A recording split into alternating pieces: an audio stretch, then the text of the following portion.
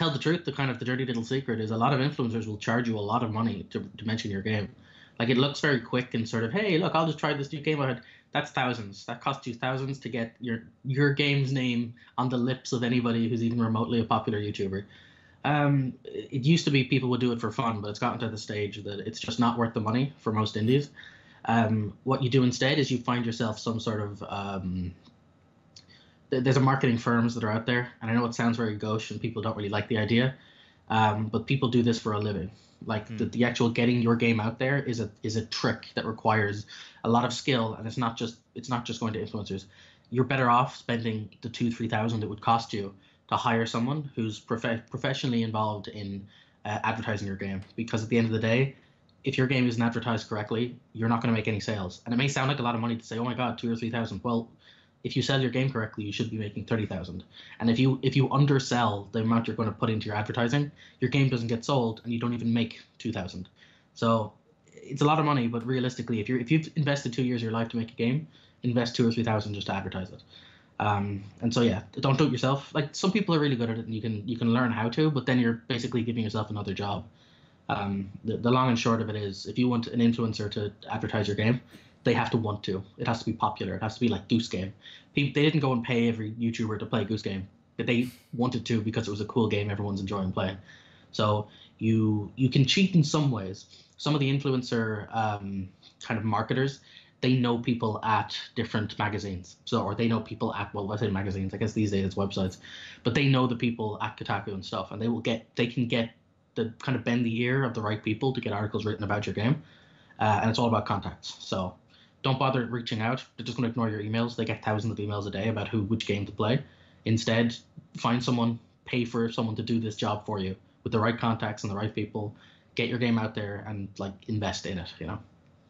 Yeah, my, my wife works for a marketing agency, and to your point, uh, it is an, a whole separate job, you know, to to be a marketer, and then on top of that to be a marketer for a particular niche.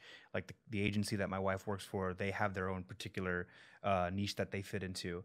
Um, but you're going to find um, marketing agencies uh, that are sp- specific to game development and they will have the connections the contacts to reporters to influencers and, and just the right people to get you know your game out in, front of that right eyeballs.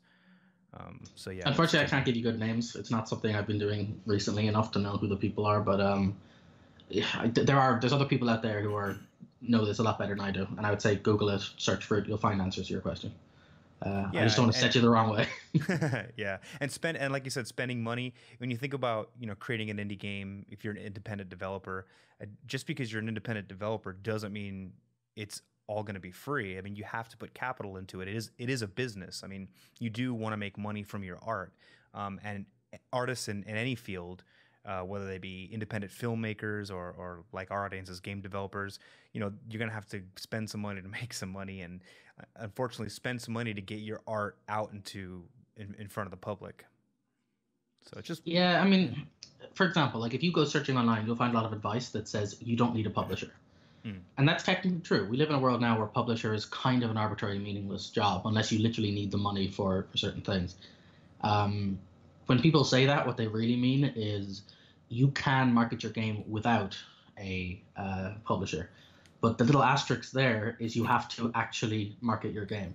And the way they tend to recommend this is by social outreach. And the way you do that is you build communities. And you'll see this a lot around starting games where they build a forum or a subreddit or something. And they have they, they tweet a lot and they get people engaged and they do the whole early access thing and they get people actively shilling for your game realistically for, for free. Um, and that's something you can do, but you have to like make that. You have to make a community. You have to manage a community. You have to have social people doing that stuff. That is an option. The other option is you get a publisher to do it for you.